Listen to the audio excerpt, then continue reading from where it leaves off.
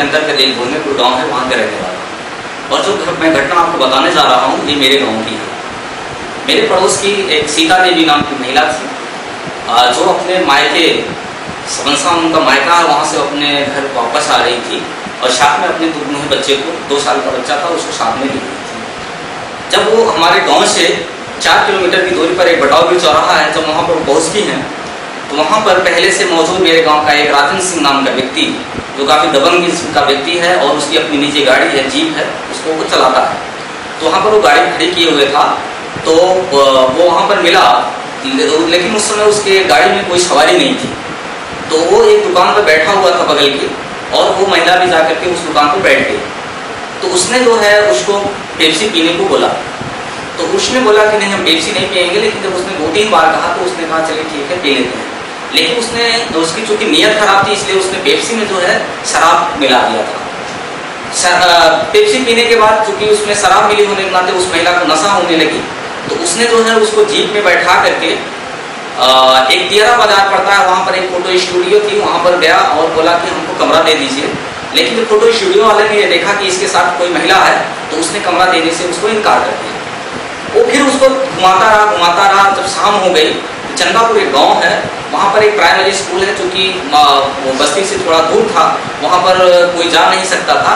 तो उसमें, उस स्कूल में ले जा करके जो चारों तरफ़ से उसमें बाउंड्री थी, वहाँ पर जो है उसने उसके साथ जो है जैसा कि हम लोगों ने सुना है कि उसके साथ रेप करने की कोशिश किया। काफ़ी कुछ देर बाद जो है उसने जब शोर मचाया तो वहाँ बस्ती के लोग गए, लेकिन चूँकि दमन किस्म का व्यक्ति था तो थोड़ी देर बाद फिर बस्ती के लोग वापस आ गए। उसने बोला कि हमारा निजी मामला है, इसमें कोई दखल अंदाजी नहीं कर सकता है।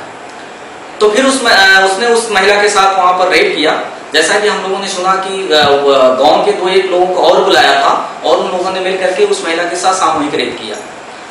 रेप करने के बाद जो है, जब वो महिला घर जाने लगी, उसके साथ, वो भी साथ में जा रहा था तो उसका बच्चा चिल्लाया तो उसने शराब, चूँकि वो भी शराब के नशे में था और उसके बच्चे को पक्की सड़क पर जो है उठा करके पटक दिया और उसका बच्चा जो है एक्सपायर कर गया जब बच्चा एक्सपायर कर गया तो वो रोते बिलखते घर जा रही थी।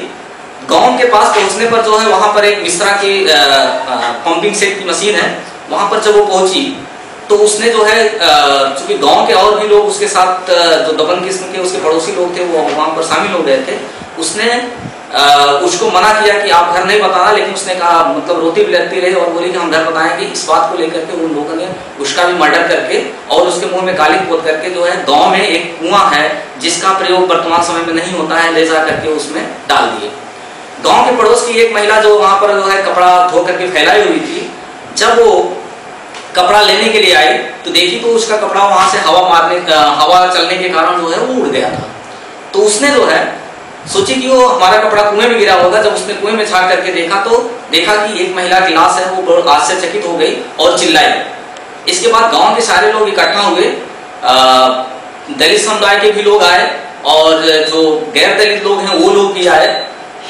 उन सारे लोगों ने के सामने जो है, थाने को सूचना गई और पुलिस भी आई। सब लोगों के सामने जो है, लाश निकाला गया तो उसमें जो है, दो लाशें उस महिला की, सीता देवी की और उसका दो बच्चे की लाश निकली। उसके बाद जो है पुलिस आई पंचनामा हुआ और पोस्टमार्टम के लिए जब गए तो दूसरे दूसरे दिन मीडिया में जो न्यूज़ आई कि जो है एक महिला ने कूद करके परिवार से तंग होकर के कूद करके आत्महत्या कर, कर ली और वो केस उल्टे जो है उसके ससुर को लगाया गया कि इसने इसके साथ झगड़ा किया और इस तरह की बातें मीडिया ने छापा।